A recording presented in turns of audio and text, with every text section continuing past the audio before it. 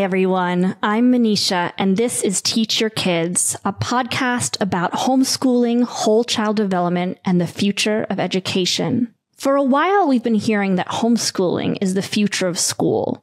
The US homeschooling population has tripled since pre pandemic levels. This movement is beginning to be less populated by outliers and more populated by innovators who are attracted to the flexibility, mastery based learning, personalization, and even opportunity for world travel that homeschooling affords. A whole host of tech startups have emerged to support this growing industry. Nir Eyal, Rachel Thomas, Jeremy Haller, Naval Ravikant, Caterina Fake, Stuart Butterfield, David Perell, Albert Wenger, Eric Ries, Marc Andreessen are among the many trailblazers in tech who've publicly discussed their decision to homeschool their kids. Even if you don't consider yourself a homeschooler, you may be teaching your child to read, helping them with homework, finding them a math tutor, tinkering together at a makerspace, enrolling them in an after school dance class or an online history program, exploring adaptive learning apps, or sharing your expertise in some way, such as running a robotics club for your child and friends. If so, you are practicing modular learning. Despite this growing trend, Many families find the idea of homeschooling and modular learning completely overwhelming. They feel they don't have the time, money, or the expertise to do this well. They may be afraid that their kids won't have friends if they homeschool, or that getting more involved in their child's education will lead to a constant battle of wills. I disagree. I don't think children need to learn in the same place at the same time in the same way to learn effectively and make friends with a large, diverse group of children. And families don't have to quit their day job either because there are more flexible, more cost effective childcare options than an 8 a.m. to 3 p.m. school. What's more, as the key stakeholders in their children's education, parents and caregivers are ideally suited for this role of educational guide, especially with the thousands and thousands of new educational resources that have emerged to support them. I have over 20 years of experience in teaching pre-K through 12th grade kids in seven different countries. I founded the first platform for microschools seven years ago and the largest organization helping families impacted by school closures, where we answered questions from over 100,000 families. Over the last 10 years, I've interviewed hundreds of homeschooling families, done in-depth studies of trends based on over 100,000 comments in online homeschooling groups, and tested hundreds of educational resources with the kids in my own program. From there, I've amassed a lot of experience about best practices for homeschooling and modular learning, from choosing curriculum to making friends to being accountable. And I've also seen what can go wrong like it or not, families are going to continue to play a more prominent role in their children's education. And that's why I created Teach Your Kids to make it easy for parents to help their child and the whole family flourish. Not only academically, but socially and emotionally as well. If you're already convinced to do modular learning and you don't need to know more, I have a quick checklist for getting started on the website. That's the where to begin. Otherwise, keep listening. So what's homeschooling? Technically, the word homeschooling refers to the situation when a parent or caregiver chooses to withdraw their child from traditional private or public school and educate them themselves. They are the person responsible for their education, taking attendance, planning curriculum, and in some states, doing the teacher. It has to be the parent or guardian. Generally, if a child is over six and the family chooses not to enroll in private or public school, they have to register as a homeschooler, following the guidelines from their state and city's Department of Education. This is the technical definition. However, Many families who attend online schools, umbrella charter schools, or micro schools also identify as homeschoolers and participate in homeschool activities. For example, in California, it's very easy for families to set up a small private school of one. It's called a PSA in their house, which gives them a lot more freedom over how they homeschool. In some states, families can also enroll in public school and do an independent study at home. And as I've pointed out before, even some public school families consider themselves homeschoolers, incorporating classes, homeschooling meetups, tutors, and parent led instruction into their school. In the United States and other countries, families have a legal right to pull their children out of school and educate them as they see fit. In some countries, homeschooling is illegal. However, even if homeschooling is illegal in your country, you can still take a modular approach to your child's education. Each US state has different requirements as to how much standardized testing children need to do and what types of materials parents have to teach. While some states require that the child's parent or caregiver is the main educator, many homeschooling families hire homeschool teachers or tutors, send their children to homeschool classes or homeschool co-ops, which may be led by a hired teacher or through a work exchange with several families. And if you're interested, you should consult the Department of Education website in your state and city to see the up-to-date homeschool laws, and you can contact the official homeschool coordinator to clarify any questions. When most families think of homeschooling, they think of traditional homeschooling or pandemic homeschooling. When families think of traditional homeschooling, they often envision a woman at a house in a homemade skirt, perhaps on the prairie, sitting at a kitchen table, giving Bible lessons to her six children on a chalkboard for seven or eight hours a day. And then perhaps she makes homemade bread and cleans the house. Pandemic schooling conjures up images of exhausted parents in between conference calls, bribing, coercing, pleading with kids with cabin fever to sit through seven hours of Zoom school and then assist them with several hours of extra homework based around a very specific and often complex method of teaching aligned with Common Core, which they might not have learned themselves. And then they attempt to work from 9 p.m. to 1 a.m or 5 a.m. till 9 a.m. During the COVID 19 pandemic, we helped 100,000 families through school closures via the nonprofit hotline and information platform School Closures and saw firsthand how unpleasant pandemic schooling can be. Veteran homeschoolers are quick to point out that pandemic homeschooling is not homeschooling. Caterina Fake, who is a famous startup founder, built Flickr, says, if you think this is what homeschooling is like, it isn't like this at all. Generally, if you're doing it right, kids spend 50 to 75% of their time away from home and with other kids. In reality, modern day homeschoolers live in urban, rural, and suburban environments. They're teachers, technologists, entrepreneurs, artists, healthcare workers, and the other most innovative people in society. And they're not at home. They're out in the world. Let's talk about the five styles of homeschooling. These are the five main styles of homeschooling and what they describe. Within this, there are numerous subcategories world schooling, forest school, Montessori, Waldorf car schooling, YouTube schooling, documentary schooling, and even game schooling. While some families lean more heavily on one or two styles of homeschooling, most are applying modular learning to some degree. Traditional homeschooling, school at home is where most of the homeschooling is led by a parent at home using a curriculum aligned with school standards. Traditional homeschooling follows a very similar schedule to school, and historically, traditional homeschoolers have used a standardized curriculum, though sometimes they create their own curriculum too. Online schooling can be thought of as school on the computer.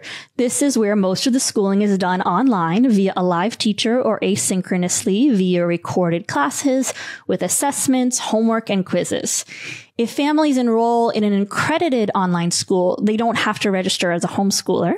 Online schooling often follows the same curriculum as traditional school, though some newer online schools have adaptive educational software and live tutors, which is pretty cool. Unschooling no school. In unschooling, learning is largely self-directed, with children driving their own learning with no structure or schedule imposed by parents. The word unschooling is often used synonymously with modular learning or really any type of secular homeschooling. However, there really is more emphasis on self-directed learning and free play, just leading your life and learning as opportunities to learn arise. Unschooling groups, by the way, tend to be great places to meet other homeschoolers who are secular, if that's your situation as well. Hybrid schooling. half school, half homeschool. Hybrid schooling includes some combination of traditional homeschool, school at home, online school, school on the internet, or unschooling with a homeschool co-op, hybrid school, learning pod, or microschool. So these hybrid schools can help support families with social and childcare needs. So in this case, you would go to a learning pod one or two days a week, and then you would do online school, traditional homeschooling, unschooling during the other days. Modular learning. Modular learning is customized education, social, childcare, and accountability. In modular learning, families draw from a mosaic of styles and activities to optimize social education and childcare outcomes for their children. These modules frequently include a combination of mastery-based curriculum, social gatherings, adaptive technology, nature-based learning, parent-led instruction, and extracurriculars a few key differences between modular learning and other homeschooling styles. There's much more structure and accountability than pure unschooling, but much more room for personalization and time for self-directed learning than traditional homeschooling or online schooling, as well as built-in accountability mechanisms, as opposed to these periodic tests. Modular learning puts strong emphasis on one-on-one mastery-based instruction, allowing children to learn at their own pace and evolving teaching methods. So it's a constantly evolving method with lots of one-on-one instruction with really high quality curriculum, lots of self-directed learning. In contrast to traditional school, hybrid school, and online school, Modular learners don't recreate school at home. They customize academic, social, and childcare experiences to ideally suit not just their child, but their whole family. Social and childcare experiences are not seen as supplemental, but integral to a well-balanced education. They also customize their goals and their accountability framework. Due to the focus on one-on-one mastery learning, students really only need one to two hours of formal study per day. And this is typically in math and English language arts. Modular learners have much more time to socialize, direct their own learning, and pursue extracurricular activities. And parents and caregivers have time to work at home and take breaks and build a learning plan that works for everyone that's fluid and personalized. Unlike online school and traditional homeschooling, modular learning is highly personalized. The curriculum is flexible and diverse and always changing to better suit the child's needs at any given point in time. One reason I like it a lot as an approach to homeschooling is because it echoes the best practices in user design and product development. Online schools vary widely in their degree of personalization and adaptive educational software is very tricky to build. And we're really far from being there with a perfect adaptive learning app. Here are some additional factors to consider. Modular learning can and usually does incorporate some unschooling, traditional homeschooling, hybrid school, and online school, which is educational software and online classes. Adaptive educational software and one-on-one tutors can make online school much more adaptive. There's a huge spectrum ranging from literally you're learning online in the way you would at school to really cool personalization features. One-on-one parent-led instruction can make traditional homeschooling more personalized, even with a homogenous curriculum. As teachers naturally adapt their teaching style to suit the child. It's instinctive, even with a standardized curriculum. Pure 100% unschooling is quite rare and varies widely depending on the child's ability to self-direct their own learning and their family's level of engagement with their learning. Even unschoolers are always influencing their child's learning through their environment, through the tools, through how they are as parents. Hybrid schools are more personalized due to the small class sizes. Since students enroll in hybrid school, they attend one to three, three days a week and use another approach the rest of the week. We think of this approach as half private school, half unschooling, um, modular learning, online schooling, or traditional school. My description of modular learning is based on patterns I have identified from direct observation, interviews, participation in homeschool groups, and reviewing conversations of over a hundred thousand homeschoolers, many of whom are former teachers all over the world. who are successfully educating their children way above grade level. So modular learning describes the most common patterns I've observed in how they approach their child's academic learning, social, and childcare experiences. These methods have been developed and refined through years of testing, iteration, and exchange of ideas within homeschooling communities. In traditional education, all students have the same schedule, the same curriculum, the same assessments, and the same amount of playtime, the same amount of collaborative learning with children the same age. Schools provide the same amount of childcare to each family in accordance with the typical national work schedule in the late 19th century. For public schools, this standardized approach is designed to ensure that on a national and a state level, or on a school level for private school, the maximum number of children are learning and socializing adequately for a particular time period in history, according to the federal and state standards for that particular time in history. For private school, standardization helps ensure the school is performing at levels that will reassure parents and donors that the school is performing better than the public alternatives. And for the most competitive private schools, that their tuition dollars are resulting in higher levels of acceptance at elite colleges and universities. So mostly private schools are serving status. Here's the problem. While standardization may help schools, it might not provide the optimal learning, quality, and quantity of social interaction. Modular learners think about their child's education as a constantly evolving mosaic of educational resources that come together to optimize each individual child's whole child development and support the entire family's well-being. Schools can be a module or not, but it's not the only module or necessarily the most important one. In traditional school, the family relegates responsibility for a child's education to the state or private school. In modular learning, the person who takes responsibility for the child's education is the family. The family sets goals and iterates based on academic and social outcomes. And what's sometimes a little more scary, but equally exciting, is that the parent or guardian is not absconding responsibility, but answering directly to the child and the future adult, ensuring that they are engaged right now while simultaneously preparing them to lead a happy, successful life. Hopefully one that makes a positive contribution to their community and to the world as a whole. Not surprisingly, many families who homeschool or start micro schools recreate aspects of school that are remnants of a system designed to standardize education, even if it's not the best fit for their child or family, such as an 8 a.m. to 3 p.m. schedule, or they use a curriculum aligned with state standards as opposed to one aligned with their own goals based on academic readiness, their child's interests and strengths, the science of learning, or evidence based developmental and cognitive milestones. School is designed to serve a large number of students adequately in a classroom setting. Modular learning is designed to serve one child and one family optimally.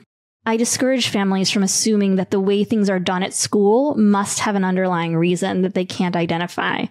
As engineers, product developers, artists, and entrepreneurs know, it's crucial to identify untested assumptions, especially if you care deeply about the outcome.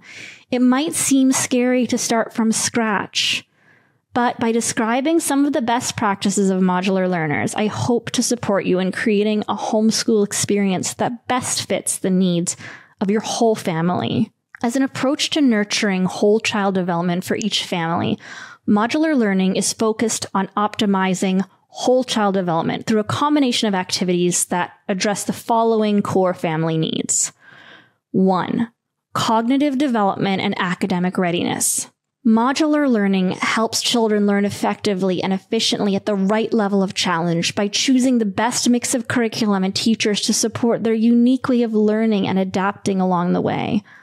While being behind in school or lagging on standardized tests is not necessarily reflective of intelligence or future success, modular learning resources can also help with academic readiness, assuring the door stays open if kids want to go back to school at any stage. Two, social emotional development. Modular learning incorporates the right amount of play and collaborative learning with a diverse social group to nurture healthy development. Modular learning also focuses on building community for families and plugging them into networks to help raise and educate their children because we all need community. Three, childcare. Depending on their work, families will need different types of childcare. Modular learning is focused on finding the ideal childcare to support every family's unique schedule, budget, type of work, whether it's remote or in an office, and their need for alone time too. It should be noted that childcare is not just something families can use to help them earn income. Childcare can also contribute to the health and happiness of a family by giving parents time to themselves or with each other so partners can spend time to develop their relationship. Four, accountability and support. Modular learning focuses on finding the right tools to ensure children are on track intellectually, socially, and emotionally, drawing on developmental milestones, assessments, learning support specialists, and even social services to make sure they're fulfilling their own true potential socially, emotionally, and academically. So what does a typical day look like? Modular learning is fully curated homeschooling, custom education, custom socialization, custom childcare with custom accountability and support. Nearly every style of homeschooling incorporates some level of modular learning, but this is what I've observed full on modular learning most typically looks like in practice. This approach has emerged from decades of mostly secular homeschooling families collaborating, iterating, and improving upon homeschooling methods within secular homeschooling communities. And there are very clear patterns that have emerged. Generally, families will spend one to two hours a day on math and English language arts and three to four hours a day on self-directed learning. There's lots of time for extracurriculars, maybe one day at a homeschool co-op, but this is typically what a day might look like. And if you're more interested in a modular learning schedule, you can check out our post, What's a Typical Day Look Like?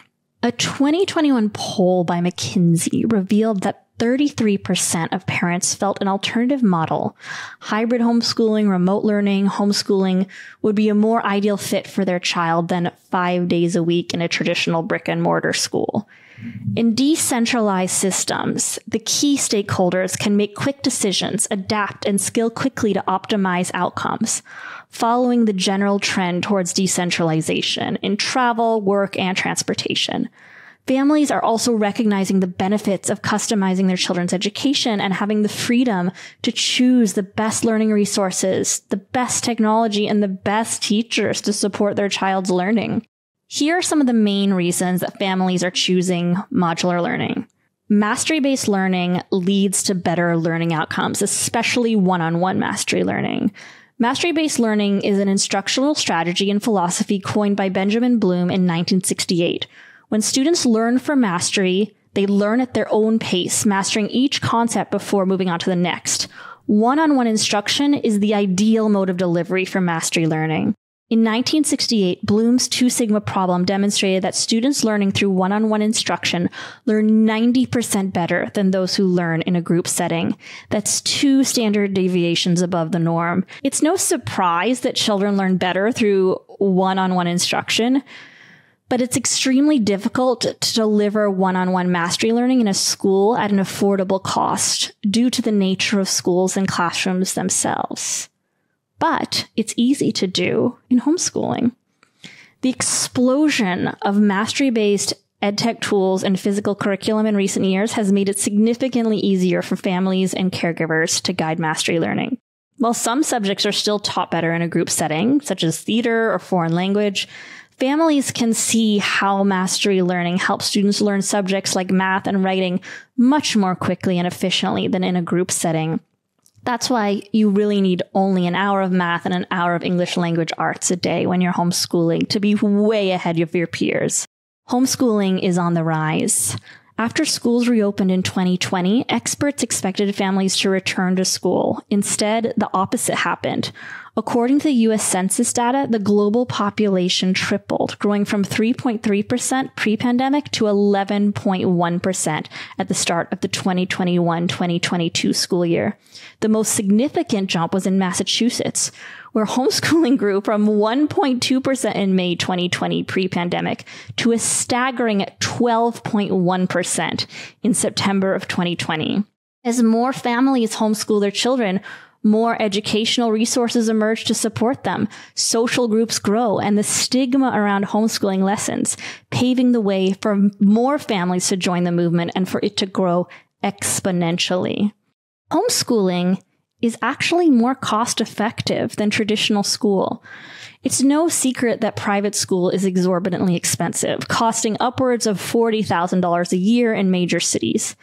However, public school also comes with its cost between after school, summer camp, back to school supplies, and education technology, even going to a free public school can get expensive.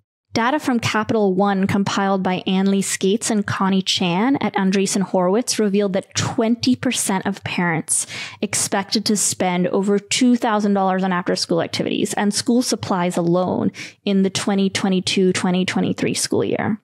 In contrast, the average homeschooling family spends $500 a year on their child's education.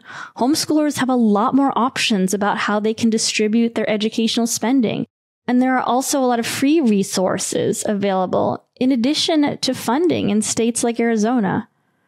Over decades of evolution, the homeschooling community has developed creative solutions for reducing or eliminating the cost of childcare and education that have become ingrained in homeschooling culture. It's less typical to outsource education or childcare and more typical to do it yourself or share it with friends for free.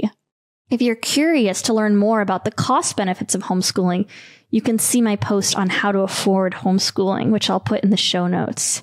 Families are also increasing spending on their children's mental health, which leads us to another big reason that families are choosing to homeschool. Families want to leave hostile social environments. Since 2018, there have been 121 school shootings in the United States leading Peter Cunningham and former Secretary of Education Arne Duncan to suggest that every family boycott school until gun control laws are passed. According to the NCES, one out of every five students reports being bullied, and only half of those students tell an adult. Despite the research on the critical importance of unstructured play for healthy cognitive and social development, according to the CDC, the average kindergartner still only has 26 minutes a day for recess at school. It isn't enough. The black homeschooling population has grown more than any other group, with many citing whitewashed history as a primary reason. Standardized testing also doesn't help individual kids. The opt out movement caught nationwide attention when in 2015, 20% of New York public school families opted out of standardized tests in protest. This movement is largely driven by opposition to evaluating teachers, in part by their students' test scores. A belief that standardized tests force teachers to narrow the curriculum to only the subjects covered on tests, and opposition to the growing role of corporations in schools. Families are deeply concerned about how these tests shape their children's education and the private interests they benefit, leading many to not only opt out of standardized tests, but to opt out of standardized school altogether. Teacher attrition is causing a national education crisis. 48% of teachers report that they're considering leaving the profession. In addition to helping parents and caregivers learn to teach, homeschooling offers students the opportunity to connect with the best teachers selected by their families for their passion, expertise, and rapport with their kids. Homeschooling offers entrepreneurial opportunities that make it possible for the best teachers to thrive through tutoring, teaching online classes, leading homeschool co-ops, or developing curriculum. Decentralized systems are the future. New technology has enabled many systems to become decentralized, travel, transportation, making them more affordable and personalized to the individual experience, but still holding users accountable through systems like ratings and reviews. Tyler Cowen from Bloomberg said, As technology evolves, the most profound and destabilizing change is likely to be the transition from centralized internet services to decentralized ones. Decentralized education makes more sense for K through 12th grade education too. In both private and public systems, the decision makers are several steps removed from the key stakeholder, the child. In a decentralized school system, those who care the most, parents and teachers and local communities, can quickly adapt to suit the needs of the individual child and their family based on the context of their local environment, the time and history, and their own lives and future aspirations. So let's talk a little more about how technology is paving the way for a decentralized school system. Over the last 20 years, tens of thousands of online resources have emerged to support K through 12th grade education. 51% of K through 12th grade parents report spending more on online classes, virtual tutors, and other e-learning resources than ever before. Marc Andreessen recently said, the pandemic has been a catalyst for parent-driven, technology-enabled educational change that will have a large and lasting impact on the education sector. This explosion of edtech resources is significant in more ways than one. First of all, the access to teachers. Kids have direct access to the best teachers in the world through online tutoring, classes, and free media platforms, podcasts, YouTube, etc. This show. Second, there's a less need for subject experts. Parents and caregivers don't have to be subject matter experts to help kids learn. This is particularly important for kids whose parents didn't receive a formal education or can't speak the language in the country. In some cases, well-designed educational software has the same impact as one-on-one tutoring. What about adaptive learning apps? Educational software can help track children's progress as they go, reducing the need for periodic standardized testing and zoning in on areas of challenge. And if you have really great tutors and really great adaptive learning technology, the effect size can be huge. All of the research supports this. Technology also connects people in person. Technology can help connect people even in rural communities, creating more social opportunities for homeschoolers.